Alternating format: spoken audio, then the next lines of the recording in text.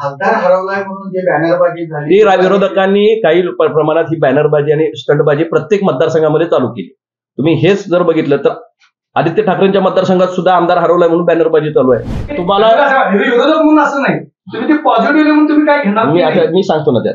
मी आपल्याला माझा जो डाटा आहे तुम्हाला लक्षात येईल. ग्रामपंचायत टू ग्रामपंचायत व्हिजिट झालेल्याचं. एकमेव खासदार आहे मी ह्याच्यातला.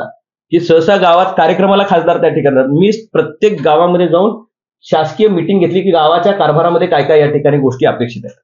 प्रत्येक ग्रामपंचायतीच्या रजिस्टरवर माझी सही आहे. म्हणजे जशा पद्धतीनं आपण त्या ठिकाणी जातोय त्या पद्धतीनं तिथं गेल्यानंतर काय नेमकं आपण तिथं पाहिलं काय नेमकं त्या गावाची अपेक्षा आहे. मी जो गावाचा विकास आराखडा सांगतोय तुम्हाला तो धैर्यशील मानेने ऑफिसात बसून या ठिकाणी तयार केला तर त्या त्या गावात जाऊन त्या गावाच्या ग्रामपंचायतीशी चर्चा करून त्यांना नेमकं गावाला काय अपेक्षित आहे अशा पद्धतीनं आपण त्या ठिकाणी काम करत करत त्या ठिकाणी आलं.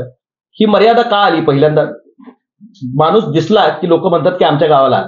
मोठे कार्यक्रम गावागावामध्ये होऊ शकले नाही. कोरोनाच्या काळामध्ये किंवा ह्या राजकीय असतील दादा, का- खासदार हरवलाय म्हणून जे बॅनरबाजी झाली? ती विरोधकांनी काही प्रमाणात ही बॅनरबाजी आणि स्टंटबाजी प्रत्येक मतदारसंघामध्ये चालू केली.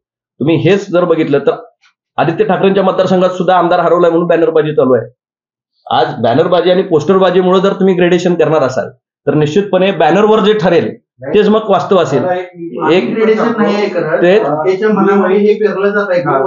हे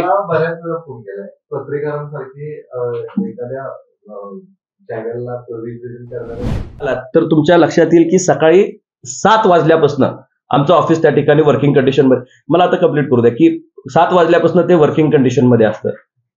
माझा डायलॉग जो आहे तो थेट संवाद इथं असणाऱ्या लोकांशी तिथं असणाऱ्या परिस्थितीशी आणि एका माणसाला सर्वांशी कम्युनिकेट करताना काही मर्यादा या ठिकाणी येत आहे सेटअपमध्ये आमचा प्रयत्न असा असतो की मॅक्झिमम लोकांच्या पर्यंत पोचावा आणि आमचा ऑफिसचा स्टाफ मी किंवा हे हे सगळेजण सिंकमध्ये त्या ठिकाणी काम करत असतो. लोकसभेची व्याप्तीच एवढी आहे की एकशे तुम्ही जर कुठल्याही लोकसभेचं अधिवेशन काढलं आणि अधिवेशन काळ काढला तर तीनशे साठ दिवसापैकी शंभर ते दीडशे दिवस हे निवड अधिवेशन काळामध्ये जातात. आणि बऱ्याच वेळा तिथं तुम्ही जर बघितलं तर फोनच बॅन आहे. म्हणजे आत गेल्यानंतर तुमचं कुठलंही कम्युनिकेशन डिव्हाइस आत पार्लमेंटमध्ये त्या ठिकाणी चालत नाही. बऱ्याच वेळा लोकांची तक्रार असते की तुमचा फोन डायव्हर्ट असतो साहेब तुमचा फोन पीएकडे गेलेला असतो. ज्यावेळी वर्किंगमध्ये तुम्ही त्या ठिकाणी असाल आता आपली बैठक चालू आहे तर मी एका वेळी एकाच माणसाला ऍड्रेस करू शकतो. काही मर्यादा ह्यामध्ये येतात ह्या बाकी खरं आहे.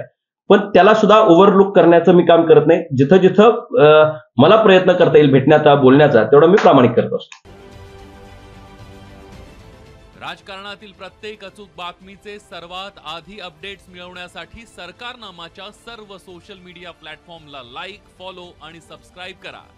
तसंच सर्व नोटिफिकेशनसाठी बेल आयकॉन प्रेस करायला विसरू नका.